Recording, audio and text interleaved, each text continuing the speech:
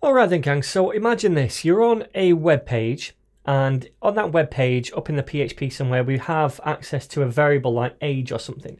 Now if we redirect to another page and request a different file, that variable is not going to be carried over. Okay, so sometimes we would like to carry over a variable and for that we could use sessions. So if we start a session on our website, during that session we can access special session variables between different pages. Now, a session does not store data on a user's computer like a cookie would, but instead it stores data on the server between requests, between loading different pages.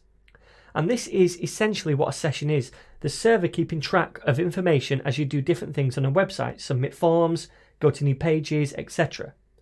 Now, by default, after we start a session, the session will last until we close the browser. So we could use this idea of sessions and session variables to keep track of data as the user navigates around a website on different pages until they close the web page off. All right. So we're going to take a look at this idea now by creating a simple form on this sandbox page where a user can enter in their name. Then we're going to store that in a variable on this same page. Now we're going to push that to our session variable and then we can access that on different pages. So I'm going to show you how all this works now. So first of all, let's create this little form for a user to enter the name. So then, first of all, let's create a form tag. And inside this, we need an input, and that's going to be a type text. The name is going to be name. And then we need a button to submit. So we'll say another input. The type is submit, and the name is submit. And the value, which is what is shown on the button itself, is also going to be submit. Oops, we made an error somehow. Submit. Okay, so here we need text and we need an action on the form that is going to be equal to this page currently, which is sandbox.php. Or we could use the other thing where we say php echo server php self. So in fact, let's do that. I'm going to copy and paste that from my repo. Just paste that in like so. Remember, that means we're going to the current page.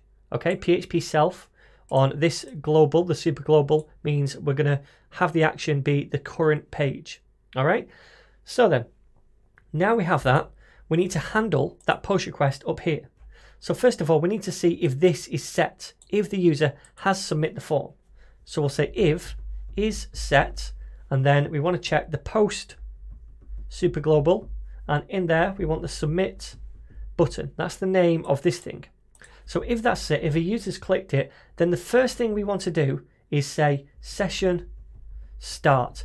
This starts a session and before we access any session variables or set them, this has to be called to start the session.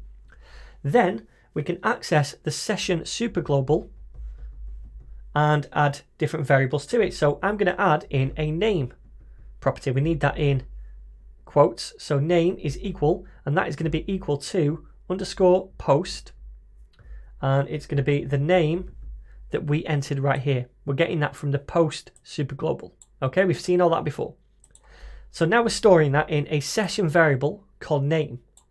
Now, what I'd like to do at this point is just echo out the name. So I'm going to echo session and then we want the name property. So let's see if this works. So let's go to the sandbox page and just say Yoshi. Submit. And when we go forward to this page, we're not echoing anything out. And that's because stupidly, we've not given this a method. We want to say that this is going to be a post method. Now let's try this. Okay, so refresh. So we'll say Yoshi again, submit. And now we see Yoshi echo to the browser. Cool. So this is working. Now, instead of echoing this right here, what I'm going to do is redirect the user. So we say header, then location. And the location is going to be to index.php. So we're going to that home page from the project now. Now, when we get there, I want to access this session variable, but I'm not going to do it inside the index. I want to access it regardless of what page we go to.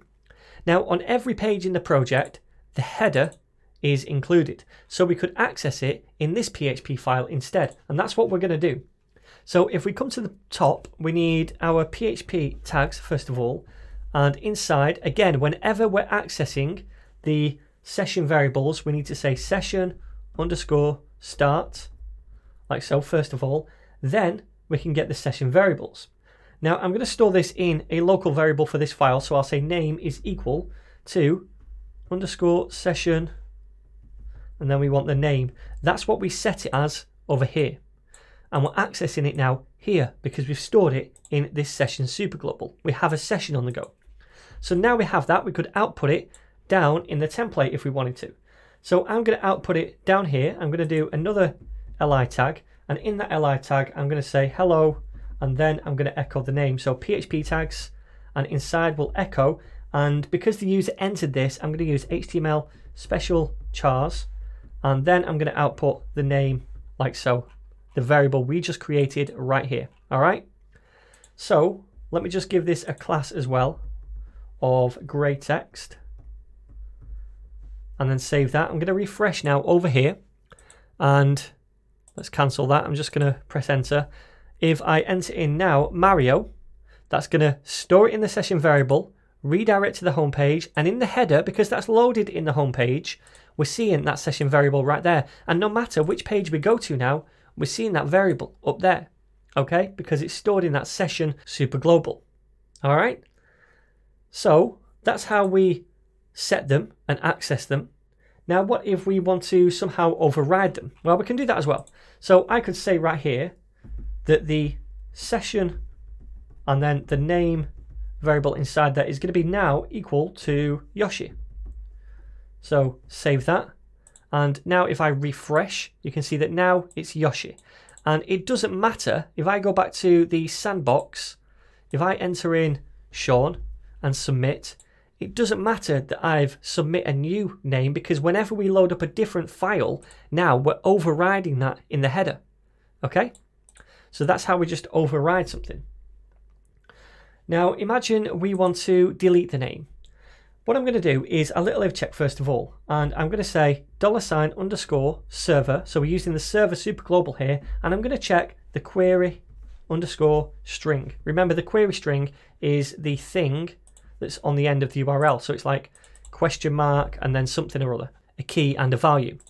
So I'm checking that query string and I want to see if that is equal to no name. So if it was like this, question mark on the end and then no name, okay? Now if that's the case, what I want to do is delete that session variable because I'm saying I don't want a name, no name. Now the way we delete or unset a session variable is by using the unset method. And then we pass in the variable, the session variable that we want to unset or remove. And that is going to be the name. Okay, so I'm going to save that and I'm going to go back to this place. I'm going to say Shaun, submit it. And now we see the name there. If I go to a new page, we still see Shaun. But now if I go to question mark, no name, that's the query string we're looking for. If I press enter, now we can see that we get an error here and it's not there either. And the reason we're getting this error as well is because we're trying to access that down here and it doesn't exist anymore because we've unset it. Okay then, so that's how we unset a single session variable. Now if we wanted to unset them all, we could just use session unset like so, and that would clear them all. That would do the same thing. All right. So that's a quick introduction to sessions. There is another way to do all this, and that's using cookies, and there is a difference between sessions and cookies. I'll explain that later, and that's going to come in a couple of tutorials time.